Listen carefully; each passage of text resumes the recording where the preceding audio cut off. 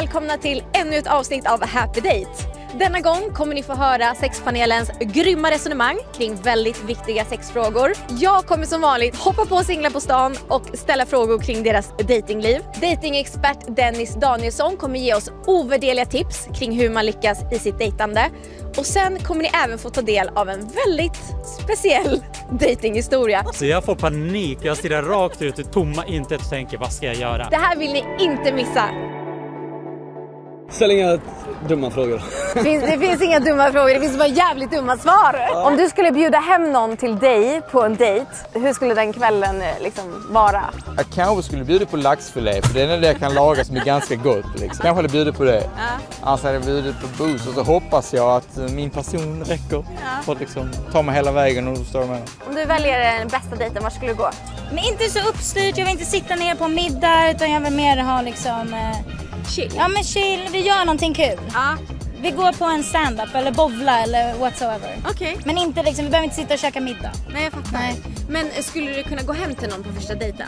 Eh, ja, det har hänt. Var det lyckat? Ja, ja det var lyckat. Sä, säg att du går på den här första dejten och, du, och du känner så här, ah, inte, Ja. inte helt hundra. Ja, Hur, hur tar du dig ur det? ja det ringer på mobilen. är det så? Nej men, Hej mamma! ah, ursäkta men. Under coronatider, har du märkt att det har blivit en ändring i datinglivet? Har det blivit mindre dating under corona? Eh, nej, det har nog blivit mer tror jag. Jaså? Men vi har ju så mycket att göra, vi har ju så mycket tid nu med Ja. tiden.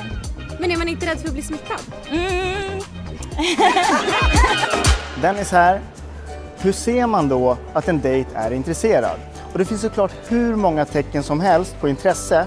Pupillerna vidgas, man lutar sig subtilt mot personen, man börjar stryka sig i håret, man imiterar varandras gester, kroppsspråk, språkbruk, you name it. Men det kanske tydligaste och enklaste sättet att se att någon är intresserad är att man är engagerad i samtalet och umgänget och det man gör. Man skrattar, man är där och man bidrar till det som händer. Vincent, har du någon rolig datinghistoria att dela med dig till oss av? Någonting så här speciellt udda, roligt som har hänt i ett dejtingsammanhang? Nej men det här äh, hände för ett par år sedan. Jag eh, dejtade en tjej som jag gillade väldigt mycket. Vi skulle gå på vår andra dejt. Jag hade inte bokat bord äh, så vi fick inte plats tyvärr. Hon var lite hungrig och irriterad men föreslog att vi skulle gå till en annan bar eh, och restaurang då som hon gillade. Vi går dit eh, och det finns eh, plats. Och när vi kommer fram till det här långbordet där vi ska sitta, då ställer sig en tjej upp och bara Hej Vincent! Och jag tittar henne i ögonen och inser att shit, det här är tjej som jag dejtade veckan innan. Och hon sitter där och introducerar mig för sitt sällskap. Hon också där på dejt eller? Nej, hon var inte där på dejt, hon var där med en kompis. Okej. Eh, jag får ju panik. Ja. Jag bara såhär, men jag kan inte sätta mig ner med en tjej, alltså bredvid en tjej Nej. som jag varit på dejt med veckan innan med en ny dejt. Och det fanns ingen annan plats. Så jag får panik, jag stirrar rakt ut i tomma intet och tänker vad ska jag göra? Ja. Så jag vänder mig till hon som jag dejtar med då Ja, ja. och säger bara nej men vi måste gå någon annanstans. Nej, jag, jag gillar inte det här stället. Ja, och hon är ju skitirriterad då och hungrig. Sen när vi går ut därifrån eh, så berättar jag att vi, Ja. vi hade en fling. Ja. Att det inte kändes rätt att sätta Nej. sig bredvid och ha en dejt, bredvid en gammal dejt liksom. Men, men hur, hur blev resten av kvällen då när det första som händer är att ni träffar på din tidigare dejt? Ja, alltså hon fick ju i sig mat till slut Ja. Eh, och jag fick ju komma undan det där ändå relativt uh, behållen. Den viktigaste frågan, blev det någon tredje dejt? Nej, det blev inget tredje dejt, tyvärr. Och då var vi här igen med sexpanelen. Ikväll så sitter vi med Kevin, Andrea, Pedja och Frida. Har vi favoritställningar och varför? Skönaste ställningen. Personligen så blir jag mest upphetsad av Doggy Style. Och jag har varit med tjejer som också har tyckt det, men andra har inte alls varit lika kåta på det. Så jag har förstått att man har olika preferenser. Så jag antar att även killar har olika preferenser. Men för mig, det är, det är lite svårt att ha sex eh, bakifrån för att det är för skönt för mig. Det, jag avslutar gärna med det, Ja. men annars är det svårt alltså. Det är Det farligt. Det är farligt. Favoritställning Frida? Det är också så, det beror verkligen på. Men Men jag börjar fan tycka ännu mer om det. Bara missionär. Att vara så här, vara där, vara så här jätte... Connect. Men jag gillar också Doggy, men det måste vara så här, jag, jag gillar när det ändå är så här, man kan kyssas, man kan se varandra i Men om ögonen, du, man får, kan eh, men om du måste vara... välja att han ligger på dig eller att du sitter på honom då? Att han ligger på mig. 100%. Det är för jobbigt. Så du känner Så oftast så är dynamiken tjejen är mer feminin, killen är mer dominant, vi tar taget och hela tiden. Men ibland man är, man har inte energi, man har inte fantasin.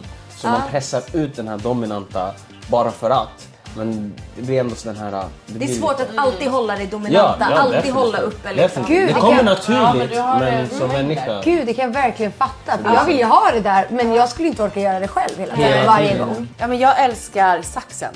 Eh, för då kommer man både djupt, man ser varandra och det är lite den här kåtheten växer ju också när man ser varandras njutning. Samtidigt som man är jävligt inne. Då blir det så här hej och då, då, då är man där liksom och eh, får både trycket om man vill ha det samtidigt som man får liksom connection. Annars så, så här, ligga på sidan bakifrån så att du kan nå Mm. och känna den, den För att så här, du, favorit. du är nära, du har... Missionary, sidoknullet, they make love. Doggy och allt annat, rida, that's fucking knulla. Får jag be er tjejer om en sak? Jag vill be om en sak.